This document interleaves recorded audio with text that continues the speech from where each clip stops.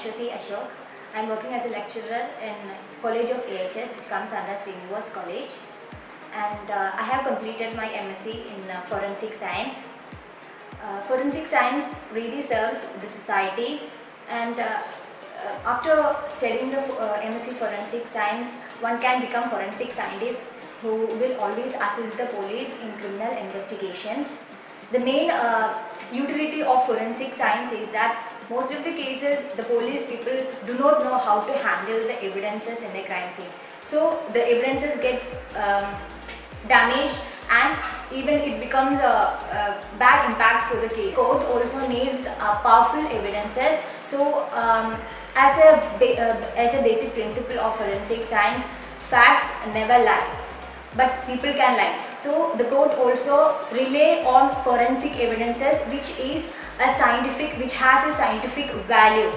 So uh, the main role of forensic scientists is that they can know how to handle the evidences properly without collapsing even if it is there are many kinds of evidences that can be uh, acquired from a crime scene like blood, hair, nail, fiber which has its own specific forensic importances to prove a case.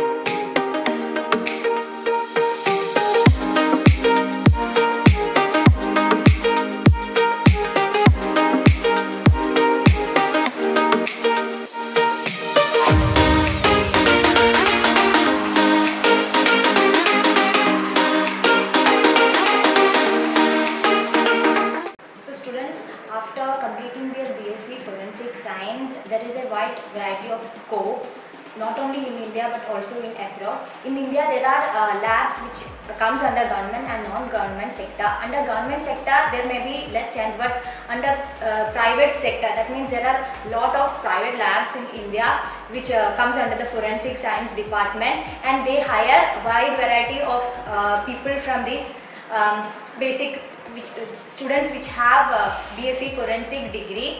And uh, there will be a lot of scope. As well as uh, those who have completed BSc they can uh, go for masters or they can go